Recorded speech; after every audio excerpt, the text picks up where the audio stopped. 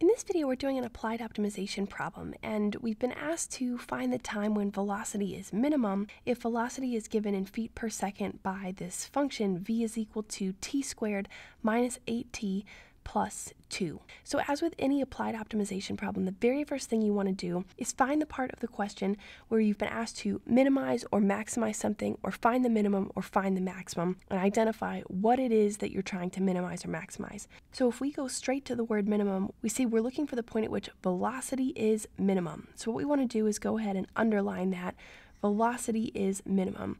What that means is that we're going to be trying to minimize velocity. So we're trying to minimize velocity, which means we need a function for velocity. Whatever you're minimizing or maximizing, that's what you're going to need a function for. That's the function you want to be working with.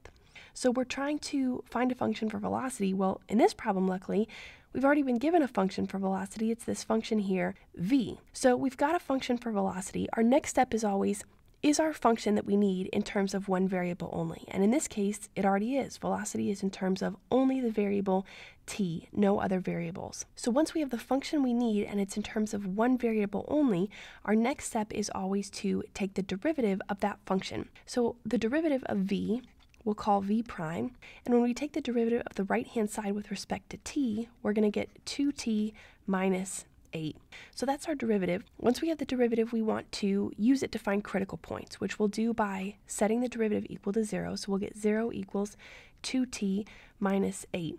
And then in order to find potential critical points, we just need to solve for the variable. So we'll add 8 to both sides and get 8 is equal to 2t. Dividing both sides by 2, we'll get 4 is equal to t. So t equals 4 is our potential critical point. A critical point is the point at which a function can change direction from increasing to decreasing or from decreasing to increasing, which means that that point is an extreme of the function. It's a minimum or it's a maximum. Because we've only found one critical point, this is probably the point at which velocity is minimum, but we need to prove it.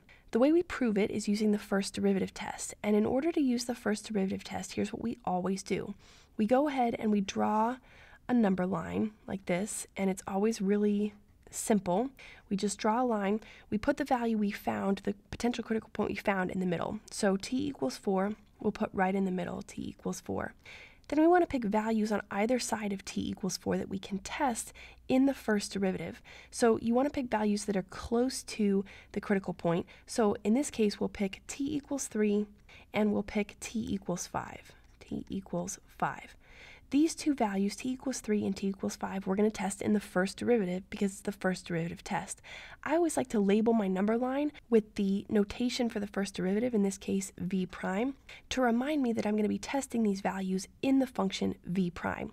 So I want to plug t equals 3 into v prime. So I'm going to say v prime of 3 is equal to 2 times 3 minus 8. I just plugged t equals 3 into the derivative function. So instead of 2 times t minus 8, I said 2 times 3 minus 8.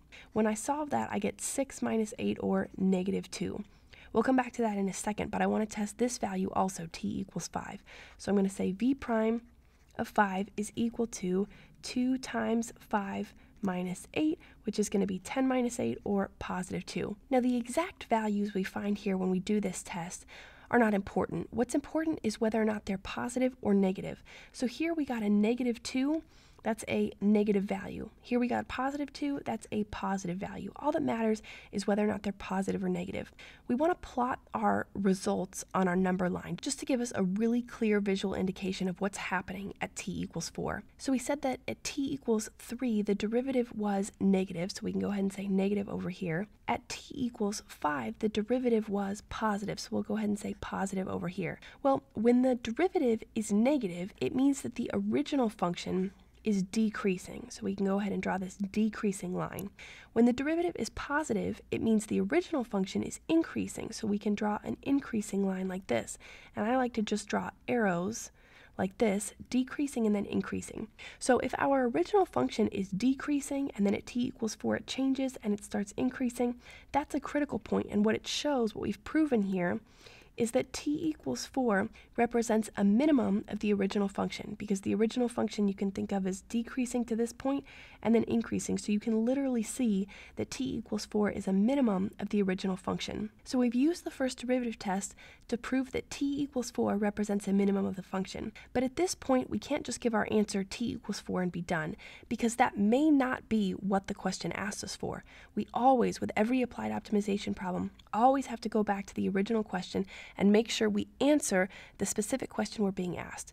So in this case, we've been asked, find the time when velocity is minimum. So our answer needs to be time, and in this case, that is t equals 4. So when time is 4, and because velocity is in feet per second, when time is 4 seconds, that's the time at which velocity is minimized. So this is the answer that we want to give.